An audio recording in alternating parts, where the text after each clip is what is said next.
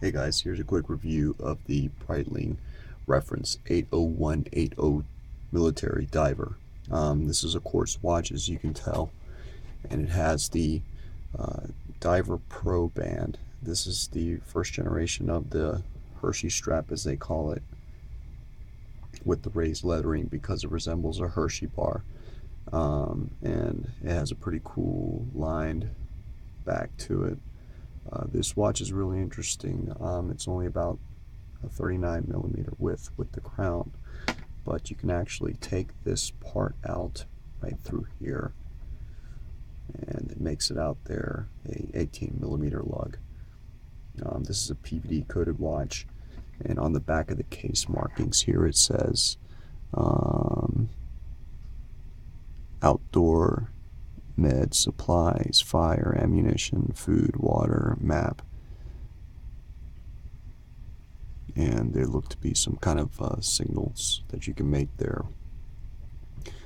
Um, when you turn around here, if you've held one of these Breitlings before, you're very aware of how good the the the bezel is on these.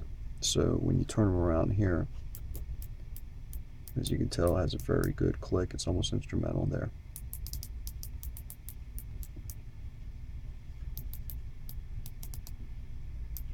And that is the main reason why I got this watch. I'd gotten in uh, a Colt Ocean before with the same kind of click on it. Um, the Colt Ocean had a bunch of grips on the side of the bezel, so that made it easier to turn. Where this one, I just had the positions at 12, um, 3, 6, and 9 o'clock to turn which is okay. It doesn't make a difference to me. And it still protects the crystal overall because you see how it sticks up there from the top. That was a pretty smart design thing. So that's that part's still been carried on over to their latest Colt models. Um, and you can see it in almost all their watches, like the Avengers and the uh, the aerospace, that kind of thing. Uh, really easy to read display um, especially the hands and the markers. So that's one of the biggest reasons I got it. They definitely got influence from the Benrus Vietnam era divers. Um, I like the buckle on this guy. It's huge, as you can tell.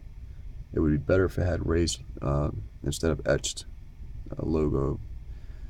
And um, on this bad boy, the the PVD on the bronze is, on the on the crown is still good.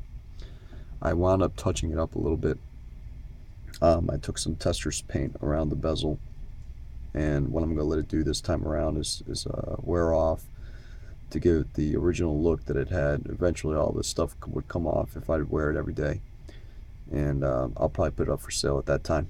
I might put it up for sale before then though.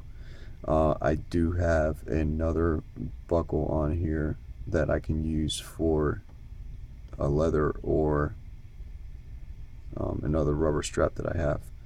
That one is just, uh, it just has a regular buckle, so it, it would look like this.